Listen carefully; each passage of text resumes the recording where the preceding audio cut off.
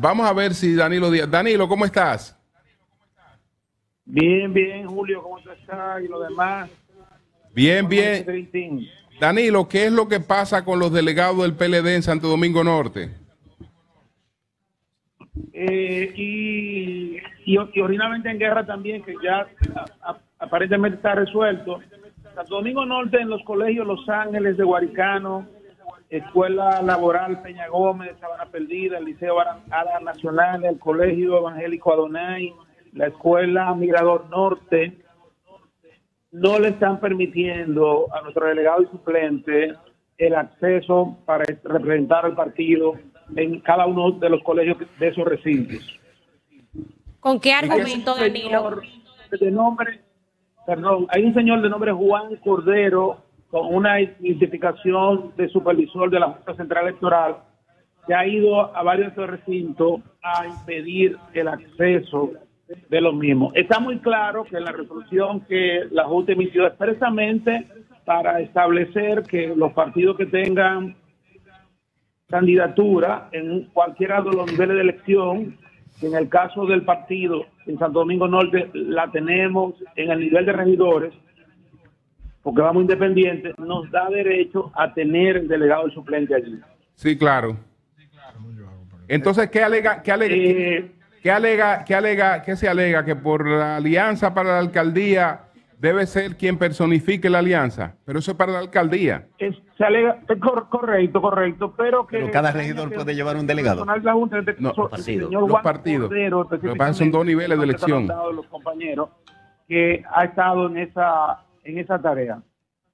Bueno, ¿y qué han hecho, qué han hecho ustedes para, qué han hecho ustedes para solucionar eso, Danilo? No, ya lo tramitamos, hablamos con el director de elecciones, eh, hablamos temprano con, con él y, era porque en principio era en todos los recintos de Santo Domingo Norte, ahora es eh, en estos que estoy señalando específicamente. Vaya. Eh, que aún la Alianza Rescate RD. ¿Cómo evalúa a las 11 y 10 minutos de la mañana de hoy hasta este momento el desarrollo del proceso electoral y el papel de la Junta Central Electoral? Mira, eh, primero felicitar a la ciudadanía que ha tenido un comportamiento cívico y como siempre, mira, eh, primero felicitar a la ciudadanía que ha tenido un comportamiento cívico y como siempre acude a dar apoyo a esta, esto que debe ser una fiesta de la democracia, a expresar eh, su apoyo a las candidaturas por las que simpatiza. Y entonces, en primer lugar, felicitar a la ciudadanía que se está comportando a la altura. Condenar, condenar el hecho que está pasando en muchos de nuestros barrios en torno a los recintos con la compra de la cédula, como una continuación de, después del grosero uso de los recursos del Estado, pues vemos que en varios puntos de diferentes lugares, en, prácticamente en mucha parte del país que estamos recibiendo reportes que se está haciendo eso alrededor de los recintos de votación.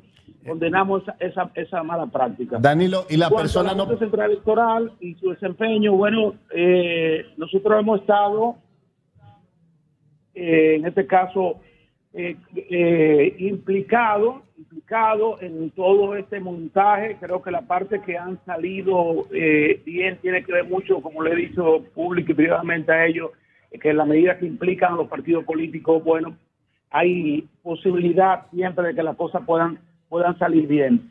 Eh, han sido receptivos en lo que tiene que ver con los que nosotros hemos estado eh, reclamando. Sin embargo, eh, hubo cosas como la que tenían que ver con el uso de los recursos del Estado específicamente, que se dieron de manera grosera en la, la utilización del presupuesto nacional para apoyar candidaturas, como lo pudimos ver en medidas como la que tomó instituciones gubernamentales como la de la, eh, la administran la tarjeta de lo que antes era solidaridad, que hoy es que lo entregan a final de mes y lo entregaron el, el 15, la asignación al ayuntamiento, que a final de mes se la entregaron también antes con ese propósito, las inauguraciones previos a, a la hasta el día reciente del presidente de la República en, en Baní, la vicepresidenta repartiendo camiones de bomberos en los distintos municipios.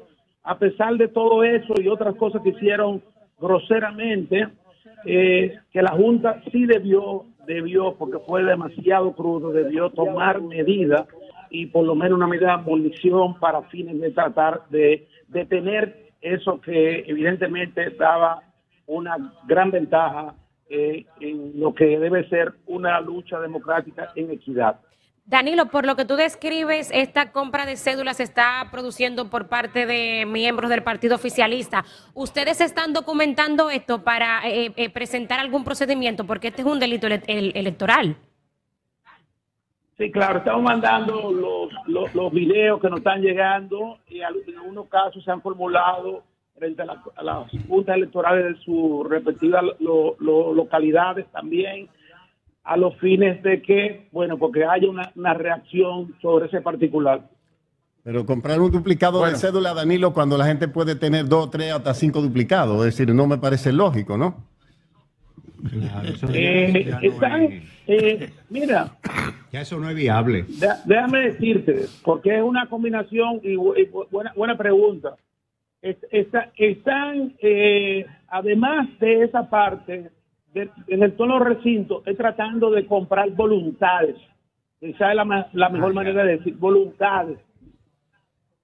Previo a la persona que van camino a su, al, al, recinto. Y se podrá documentar eso de la compra de voluntades. Danilo, bueno, Danilo, Danilo, bueno, Danilo. Es siempre un poco más complicado, pero sí estamos tomando, se han tomado videos que nos han estado llegando sobre el particular que le haremos llegar a, a, Danilo. a, ustedes también para que lo, para que lo muestren. Danilo. ¿Cuál, ¿Cuál sería el propósito de comprar voluntades? Porque el que incurre en esta falta de vender su cédula, de entrada ya no tiene intención de votar por nadie, por eso la está vendiendo. ¿Cómo se compra una voluntad así? Mira, eh, aquí se quiere abusar de la misma pobreza que este gobierno está sometiendo a una gran parte del pueblo dominicano. Cuando tú no tienes nada, ¿verdad? Y ellos lo quieren convertir en una oportunidad, ¿tú comprendes? Para ellos abusar de esa condición. A, eso que me refiero. Sí, bien. Yo, quiero hacer una no, debe ser complicado entenderlo. Bueno, hacer una observación ahí, eh, eh, Danilo, eh, sin ánimo de cuestionar tu denuncia, yo pienso que ya lo de comprar cédula en eh, cuando se hablaba de comprar cédula, se le compraba a personas, escúchame, a personas que ya de antemano tú estás seguro cuál es su filiación o su decisión partidaria. Eso en un recinto es al azar. Tú no sabes si está haciendo en otro orden.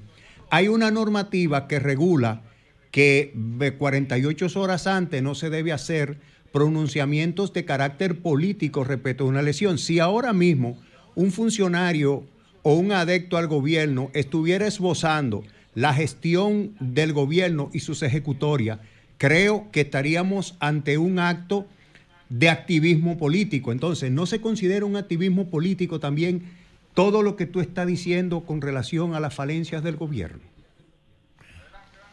Eh, pero eh, lo que estamos diciendo son hechos que están sucediendo. Sí, pero yo lo que digo es que si, un funcionario estuviera... Eh, pero lo que estamos diciendo son hechos que están sucediendo. Sí, pero yo lo que digo es que si, un funcionario estuviera esbozando las ejecutorias, estuviéramos cuestionando que está haciendo campaña. Perdón, perdón, perdón, perdón. Lo que tú me estás pidiendo es que nos quedemos en silencio. Tenemos que denunciar la grosería que está pasando. No, no, yo no me refiero a eso. Yo me refiero a los otros elementos que tú has adjudicado. La mala gestión. Del gobierno, claro. Porque no solamente del proceso eleccionario que le está hablando. Está hablando del gobierno las, las virtudes del gobierno que estoy, estoy haciendo un planteamiento como comunicador. Ok, pero escuchemos ahora a Danilo, escuchemos a Danilo. Adelante, Danilo. Sí, estamos denunciando los hechos escandalosos que están sucediendo, no estamos haciendo campaña. No, no podemos guardar silencio frente a los groseros hechos que están pasando. Y cuando dijimos lo que hizo el presidente de la República, la vicepresidenta, días antes de las elecciones. Lo estamos diciendo con responsabilidad, no estamos haciendo campaña, porque son hechos que pasaron. Cuando denunciamos lo, lo, que hizo la Liga Municipal o lo que hizo la tarjeta Supera, no estamos haciendo campaña, estamos diciendo los hechos que pasaron. No estamos diciendo voten por fulano, eso no es lo que estamos diciendo. estamos diciendo. Sí, pero oye, Danilo, lo que Danilo es una prevención de la derrota creando argumentos ahora para justificar que perdieron. Ya, ya, ese ya que le compraron los votos. Cuidado Ese es tu deseo, eso es tu deseo. ¿Tú sabes lo que está pasando ahora, papá? Es que este pueblo le ha dado un voto de castigo, voto de castigo justamente por lo, el grosero uso de los recursos del Estado. Es un voto de castigo que le van a dar. Eh, ya, ya, no, no lo pasemos de la raya de la ley, ya. No, Fafa eh, diciendo que derrota. no, pero del mismo Don Fafa también. del mismo Don Fafa. no, estoy diciendo el bueno, fue la respuesta a lo de Fafa. del mismo Don Fafa. Don Fafa también. En ningún caso, en ningún caso. Ambos los dos. Los dos. Fue la respuesta a lo de Fafa. Del mismo Don Fafa. Los dos. Bueno, gracias, gracias, gracias a Danilo Díaz. Gracias a Danilo Díaz. Bueno, señores, ¿qué reporte tienen ustedes? ¿Cómo, cómo va ¿Cómo va la participación? Yo lo que tengo es que la hora es 11.19 y doy gracias a Dios porque el proceso continúa, porque ustedes se recuerdan que hace cuatro años a las 11 y 11 eh, de la mañana, el presidente de la Junta... tenemos las imágenes de, de Eduardo Estrella y Abel Martínez que coincidieron en un colegio electoral.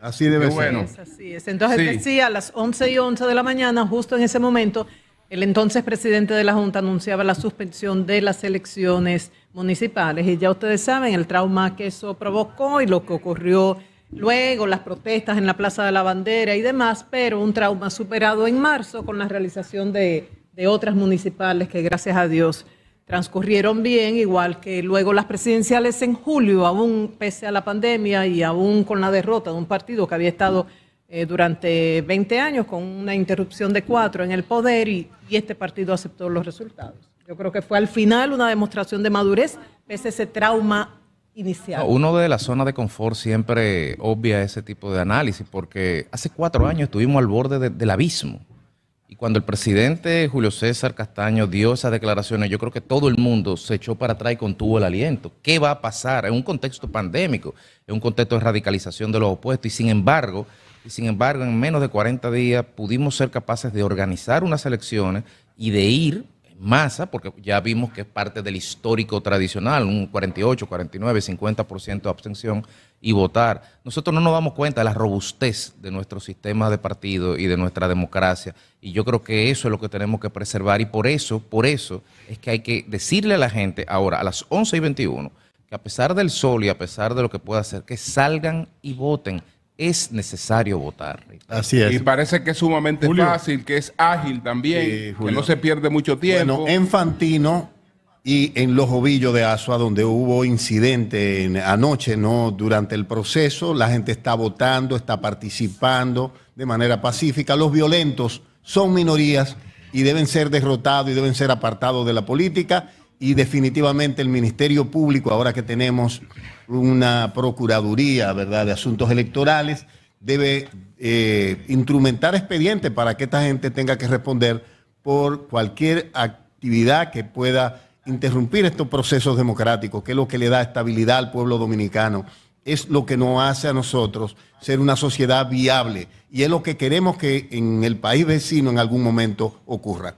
Maestro, me están informando desde Asua. Un momentito, Víctor. Están informando desde Asua que parece que la situación que se dio con el muerto tiene que ver con, con rencillas pasadas. Dice que todavía eso está en discusión, que no necesariamente sea un tema de campaña, sino que parece ser que tenía un conflicto interior.